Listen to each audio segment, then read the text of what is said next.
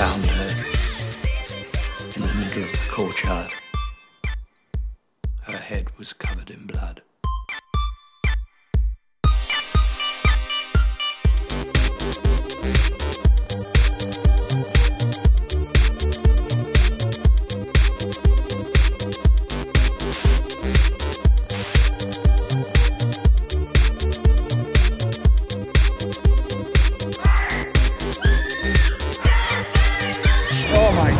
This is death. That's what this is. Absolutely insane.